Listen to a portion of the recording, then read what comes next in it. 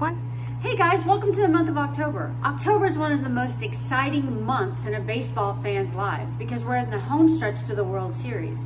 Did you know that Longview, Texas was home to a semi-professional baseball team? From 1895 to 1939, the Longview Cannibals were one of the most recognized and celebrated teams in East Texas. So I hope you come down to the museum to learn more about them. Your challenge this month is to make your own baseball trophy that can hold an actual baseball for 30 seconds using common supplies. I'll provide a list on the YouTube channel link, but if you'd like to come by the museum sometime this month, we'll be happy to do it with you. See you next time.